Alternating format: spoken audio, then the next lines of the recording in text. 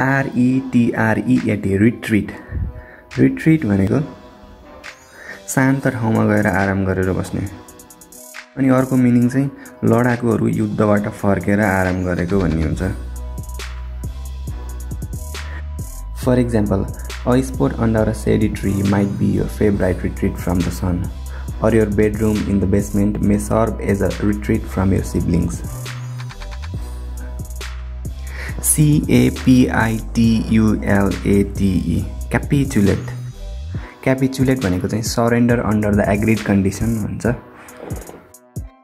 यो भनेको कस्तो भन्दाखेरि लडाकुहरूले हात हतियार बिसाए जस्तो अथवा कुनै पनि अनवेलकम डिमान्डेडहरूमा एग्रिमेन्ट गर्ने For example, if your parents refuses to raise your allowances, you might try to argue with them until they capitulate. अर्को रिक्यापिचुलेट भन्ने शब्द पनि छ। यो शब्द क्यापिचुलेट जस्तो चाहिँ होइन।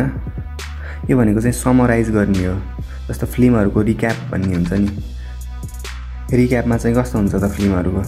जस्तो एकदम मेन मेन पोइन्टहरू चाहिँ अथवा राम्रो राम्रो सिनहरूलाई चाहिँ देखाएको हुन्छ नि त। ओके